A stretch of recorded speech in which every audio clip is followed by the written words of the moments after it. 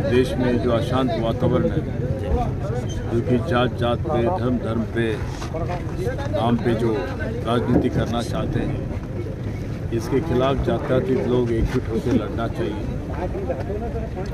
मेरे तरफ़ से, रहीम खान की तरफ़ से, हमारे पार्टी की तरफ़ से, सैफुद्दीन के जो घटना हुआ तो मैं उनके परिवार को सांत्वना देने आया हूँ। सरकार उनके परिवार के साथ है। हम उनके दुख में शामिल हैं और मैं जिस दिन यह दुर्घटना हुआ, मैं और रहीम खान सीएम साहब से मिले मिल के उनसे गुजारिश करें कि ये बहुत ही विशेष प्रकरण बोल के समझ के उनके परिवार को राहत देना चाहिए। तो मुख्यमंत्री राहत कोष से 10 लाख रुपए घोषणा करता हूँ, बोल के मैं बोला था। सीएम ने उसको मान्यता दिया। मई रहीम खान आके दिल्ली में ही घोषणा करें।